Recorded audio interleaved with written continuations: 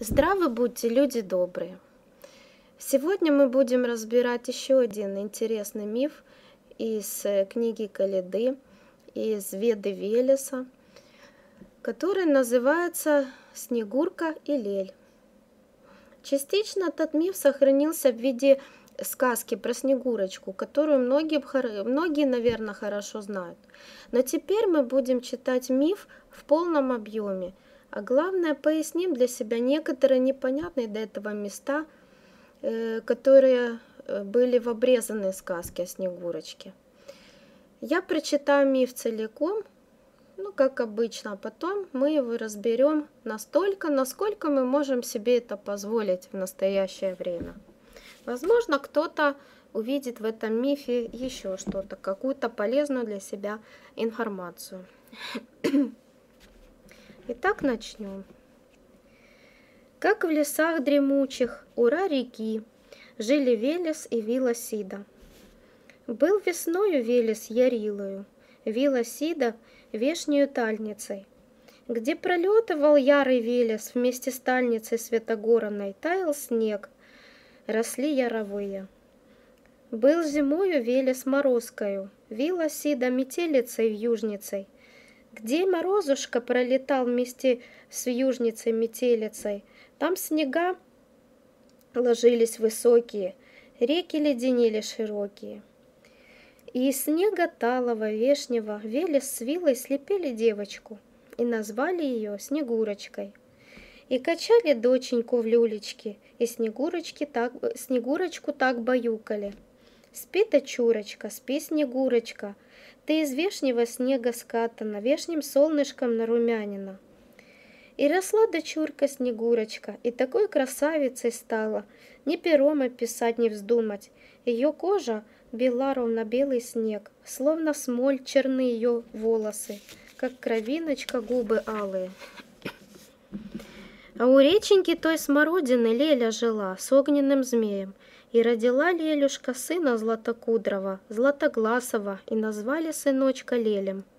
И сыночек Лель был на возрасте, словно сокол ясный на возлете, и играл на гуслях яровчатых, пел он голосом соловьиным, и прислушивались к нему и леса, и горы, и долы. А Снегурочка, дева юная, так с метелицей говорила — Ой, не спится мне, не дремлется, и сердечушка беспокоится. Я в окно гляжу, в юженьку сторожу.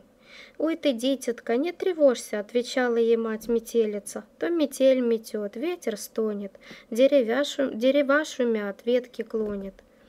«Ой, мне скучно, мама, и грустно», — так говаривала Снегурочка. «В груди сердечко тревожится, худо мне молодой и не можется. Я пойду в лесок разгуляюсь, с милым дружком повстречаюсь. Отвечала и так метелица. Ой, Мороза, дочь, не ходи гулять в ночь, По снежку следов не протаптывай, Те следочки не скрыть мне порошицей От печалюшки горя лютого. Но Снегурочка не послушала И пошла гулять в лесок, Выходила на бережок. Бережок водой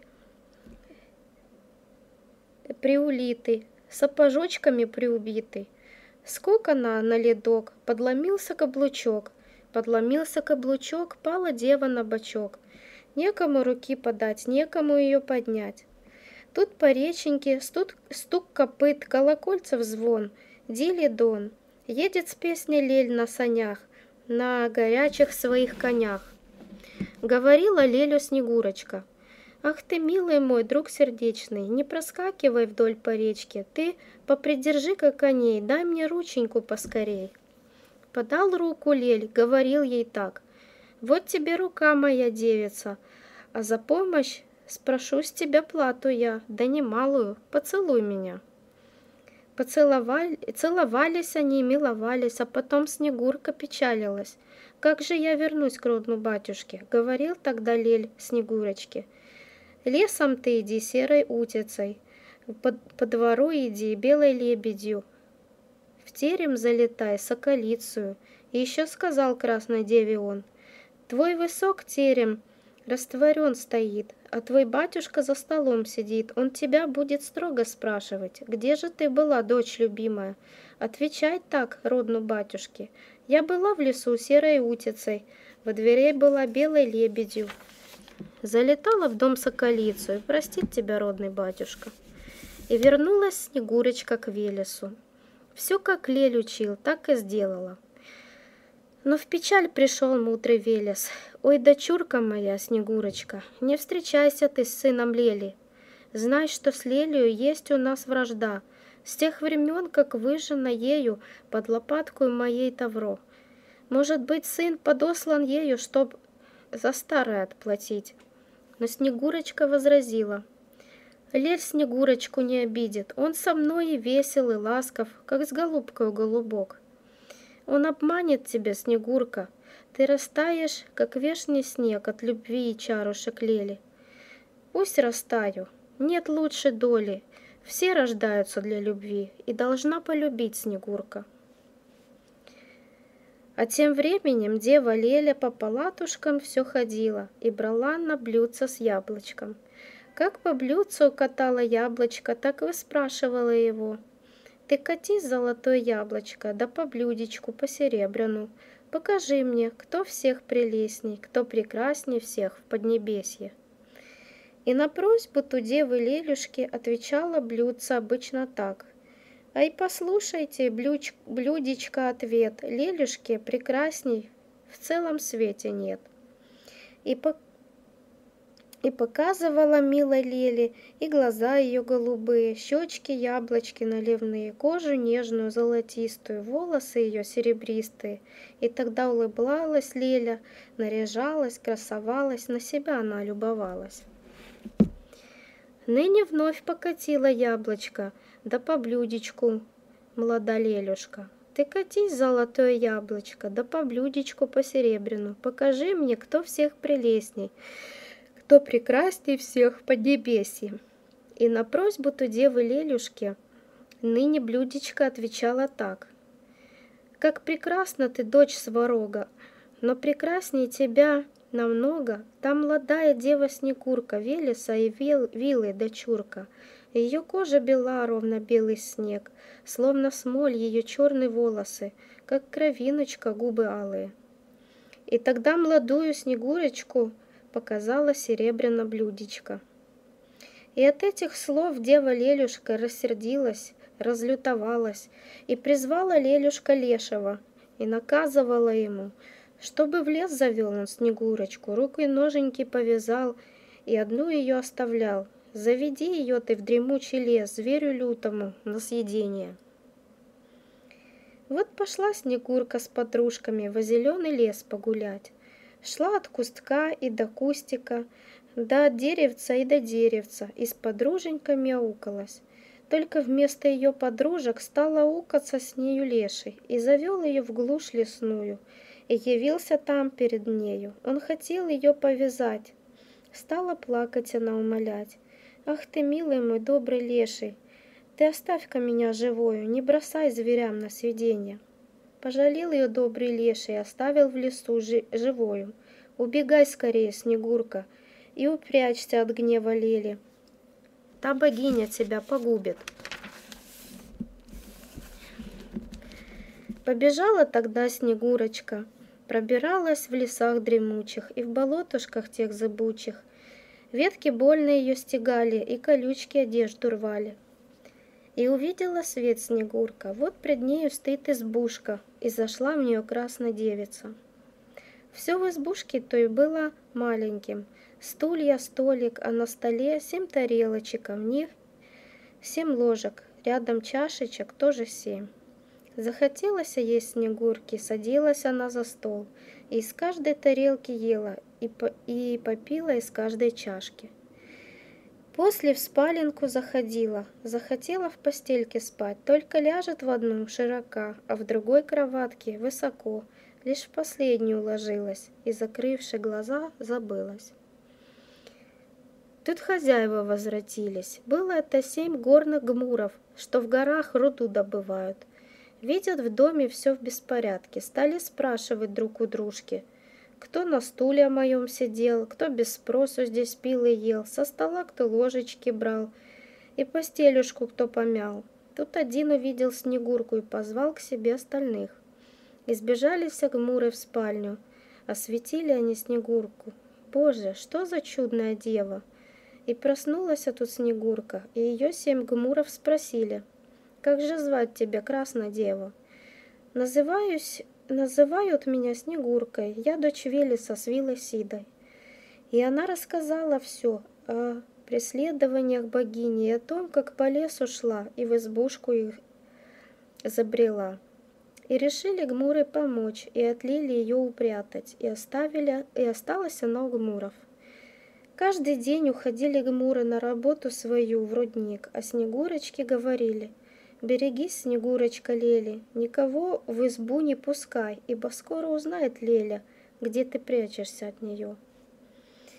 А в ту пору богиня Леля по палатам своим ходила и брала то блюдце волшебное, как по блюдцу катала яблочко, так выспрашивала его – ты катись, золотое яблочко, то по блюдечку по серебряну, покажи мне, кто всех прелестней, кто прекрасней всех в Поднебесье. И ответила Леля блюдце. Как прекрасна ты, дочь Сварога, но прекрасней тебя намного дева, та, что живет у гмуров, за лесами и за горами, в их избе за семью степами.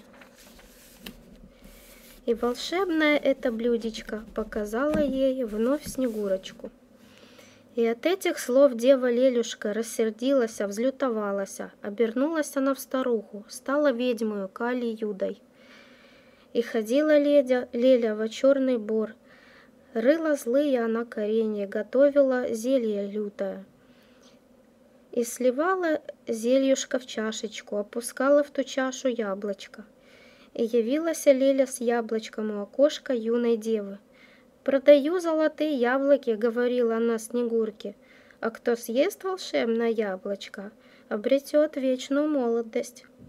И взяла Снегурочка яблочко и немножечко откусила, и тотчас на землю упала, и уже она не дышала. Рассмеялась Леля грозно. Да, кто съест волшебное яблочко, не состарится тот вовеки. Вот вернул, вернулись с работы гмуры, видят вот на земле Снегурка. Это Лелюшка, Кали Юда, усыпила нашу Снегурку. И тогда они положили тело девы в хрустальный гроб, отнесли его в пещеру, и в темной зале пещеры гроб повесили на цепях. А тем временем юный Лель все ходил и искал Снегурку. Он искал ее по лесам и искал ее по полям, забирался в крутые горы и бродил по берегу моря. Обратился он к солнцу красному. «Ай ты, батюшка, солнце красное, днем ты землю все освещаешь и весь белый свет озираешь. Ты не знаешь ли, где Снегурочка, Велеса и Вилы дочурка?» Солнце батюшка отвечал — я Снегурочки не видал. Может, месяц Снегурку встретил, темной ночью ее приметил. Лели к месяцу обратился. Ай ты, батюшка, ясный месяц, Ночью землю ты освещаешь, Весь подлунный мир озираешь. Ты не знаешь ли, где Снегурочка, Велеса и Вилы дочурка? Дочурочка. Месяц батюшка отвечал — я Снегурочки не видал. Может, ветер Снегурку встретил, на дорожке ее приметил. И отправился Лель к Стребогу. Ай ты, батюшка, ветер буйный, Овиваешь ты каждый камень и листочек из стебелек. Не встречал ли ты где Снегурку, Велеса и Вилы дочурку? Ветер батюшка отвечал, есть за реченькой Смородиной, за горой той Сорочинской, вход в пещерушку ту печальную, а в пещерушке гроб хрустальный. На золотых цепях он во тьме висит, в нем Снегурочка непробудно спит. Поскакал тут лель по дороженьке к пещерушке той печальной. Ехал он лесами дремучими и болотушками зыбучими, и нашел пещеру печальную. Подходил к, обру к гробу хрустальному. Открывал он крышечку гроба и Снегурочку целовал, ей колечечко одевал. Вот тебе колечко, Снегурка. А колечко то золотое было выковано сварогом и подарено Леле змеем, ладой матушкой самой. И от самого дня творения сила в нем была воз, возрождение. И очнулась от сна Снегурка и открыла ясные очи. «Здравствуй, Лелюшка!» «Мой прекрасный, здравствуй, милый мой, сокол ясный!» И тогда венцы принимали Лель, сын Волха, и дочь Мороза, в день великой богини Сречи, на Ярилиной той горе. И пошел от Снегурки с Лелем род Снегуров, который слился с родом Яров Волотоманов. Снег и солнце, огонь и стужа слились вместе в его крови, будто память о той любви. И теперь все славят Снегурку и прекрасного бога Леля, также Велеса с Вилой Сидой.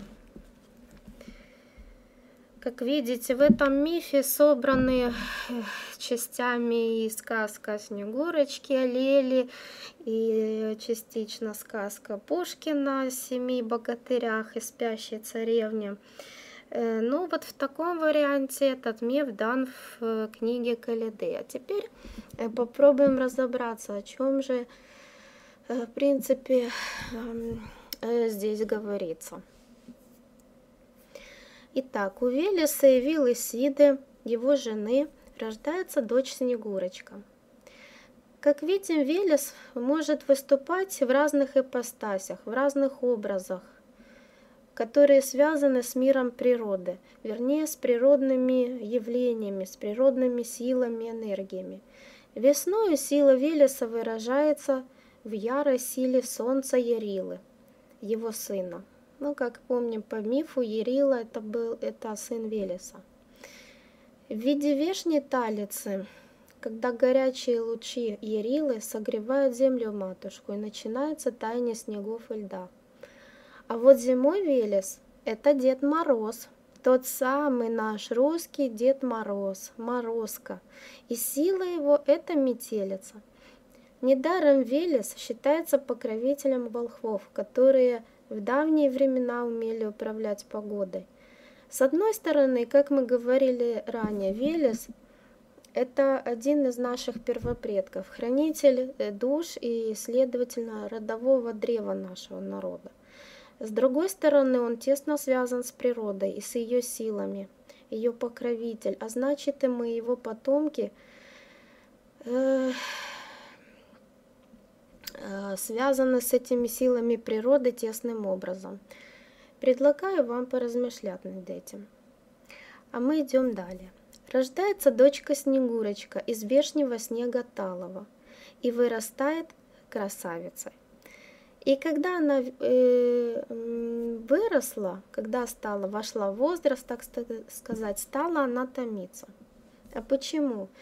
Да потому как сердце ее не знало еще, что такое любовь. Об этом, собственно говоря, и весь миф. Но ну, давайте по порядку. И мать Снегурочки метелица, и отец Морозко Велес мудрый предупреждают ее, что сама любовь, Леля, может принести не только радость, но и печаль, потому как Снегурочка, ее душа, еще не знает, что это такое, ведь путь познания любви может принести и счастливый, и горький опыт. Родители предупреждают, но насильно не удерживают дочь от познания. И Снегурочка же говорит, что все рождаются для любви, и ей не страшно от нее растаять. И в конце концов, по своему желанию, она встречает свою любовь Леля, который является сыном Лели и огненного волха. Когда мы рассматриваем первую встречу Лели, Леля и Снегурочки, то здесь примечательна одна деталь. Снегурочка подворачивает каблучок и падает на лед. Лель же подает ей руку в помощь, и так они знакомятся. Дело в том, что обувь и каблучки, в частности, связаны по символике с партнером и с партнерскими отношениями. Вот так и выходит. Подвернула каблук, встретила своего суженого. Кому интересно, то, тот может провести исследование, найти э, несколько примет, связанных с каблуками и с обувью, и все они касаются в основном партнерских отношений. Вот еще один ключик – э, связаны с символикой. Но есть еще кое-что. В астрологической традиции обувь и ступни ног связаны со знаком рыб. А планета Венера, символически связанная как раз функциями любви земной, находится в экзальтации, в своей как бы высшей силе в этом знаке. Так вот, как мы увидим в дальнейшем, в мифе как раз и описано, как может проявляться любовь в человеке при таком положении Венеры, то есть как может проявляться экзальтированная Венера и чем опасно и полезно такое положение. Ибо экзальтация э, планеты – это еще не значит хорошо во всех случаях.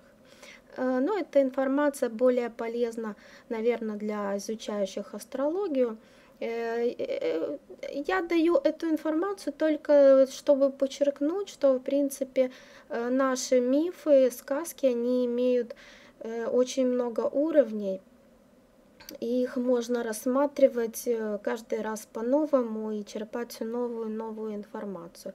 В том числе здесь, конечно, прослеживаются астрологические знания. И вот Снегурочка вступает на путь познания. Что же такое любовь? Далее нам рассказывается, как Леля, богиня молодой весенней любви, превращается из-за зависти к красоте Снегурочки в злую старуху и усыпляет ее отравленным яблоком. Давайте разберем эту мистерию и как такое вообще возможно. Представим себе вот такую неискушенную девушку, душу, снегурочку, снегурочку, вставшую на путь познания. Что же такое любовь? Она не знает, что это такое, поэтому и Снегурочка, холодная, но очень хочет познать любовь, ибо без любви ей холодно. И она говорит, что все рождаются для любви. Но в том-то и дело, что любовь в описании именно этого мифа имеет два лица – Первое – это любовь эгоистическая, направленная только на себя, когда человек делает себя центром Вселенной, и не дай Бог, если кто-то затмит его или ее своей красотой, конечно, речь идет не о красоте души, а о красоте тела, опять же, тогда он или она готовы убить своего конкурента. Именно такую любовь начала испытывать неискушенная душа зациклившись на своей красивой внешности. Вот именно в тот момент Леля, богиня любви весенней, может превратиться в злую старуху. Именно такая эгоистическая любовь усыпляет, то есть приводит к смерти духовной, что и случается со Снегурочкой. Ее неискушенная душа отравлена эгоистической, направленная лишь на собственную персону любовью, которая основывается даже не на чем-то вечном, а всего лишь на внешней физической красоте. Помните, Леля пришла и сказала, продаю золотые яблочки, а кто их отведает, тот будет вечно молодым. И Снегурочка, искусившись, она берет это яблоко, то есть она хочет вечной молодости и красоты своему телу. И Снегурочка засыпает мертвым духовным сном. Когда в человеке все прекрасно, и душа, и тело, это, конечно же, замечательно, и так и должно быть. А к духовной же смерти приводит именно эгоистическая любовь только к самому себе, основанная лишь на красоте своего тела, унижение на этой почве других и возвеличивание себя. Однако вначале Снегурочка, ну или девственная душа, пытается избежать этой участи. Она встречает семь гномов. В сказке Пушкина, да, как я уже сказала, это было семь богатырей. Заходит к ним в дом, ест из семи тарелок, ложится спать на подходящую кровать. В моем понимании семь гномов это словно как бы семь предков, семь поколений предков, с которыми связана душа, э, ступившая на путь познания в мир яви, потому что именно генетику семи поколений в основном э, берет душа, приходящая в мир яви. Какое-то время они ее оберегают. Она ест, образно говоря, их пищу. То есть находится в их традиции, культуре остается целой невредимой. Они защищают ее.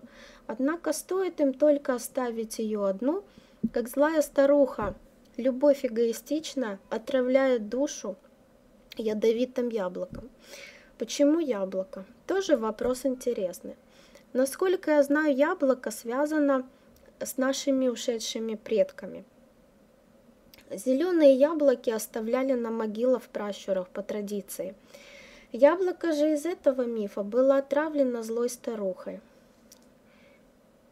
Когда мы выходим из-под защиты предков, выходим из своей традиции культуры, наши души можно отравить.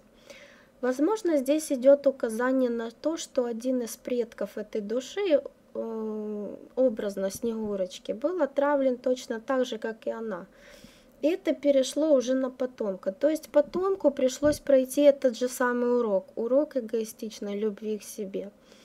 Итак, эгоистическая любовь направлена только на самого себя из-за красоты телесной, которая не вечна, кстати, приводит к духовной смерти. Именно здесь речь идет именно о духовной смерти, не о какой-то вот там прям физической, именно о духовной смерти. И второе лицо любви Лели, спасающее. Мы же помним, как любовь Леля спасла из темного царства, из царства змеев огненного волха. В мифе же про Снегурочку и сына Лели любовь также спасает заснувшую духовной смертью душу. Душа просыпается к жизни именно тогда, когда начинает любить уже кого-то, а не только себя. Снегурочка просыпается от любви Леля. Полюби кого-то истинной любовью, и ты будешь избавлен от духовной смерти. Вот смысл этой мистерии. К душе возвращается жизнь, она снова становится живой и наполняется светом. Вот таковы основные уроки мифа о Снегурочке и Леле. Если же вспомнить астрологическую традицию, то вот вам и указание на плюсы и минусы экзальтированной Венеры. Такое положение Венеры в космограмме на том уровне, на котором мы находимся сейчас, может обернуться суперэгоистической самовлюбленностью, либо спасти кого-то от духовной смерти, пробудить к жизни. А уж какой путь выберет сам человек, зависит от его выбора, от него самого, от уровня его сознания и степени здоровья, так сказать, души. Что ж, иногда для того, чтобы исцелиться, нужно познать боль. Желаю всем осознанного отношения к жизни. Спасайте своей любовью и будьте любимы. Благодарю за внимание. И да, забыла сказать о волнующем вопросе. Так растаяла Снегурочка или нет? Как в известной сказке. Я думаю, что растаял снег и лед души, не знавшей любви а сама Снегурочка превратилась в красивую, теплую, живую женщину, жену и мать.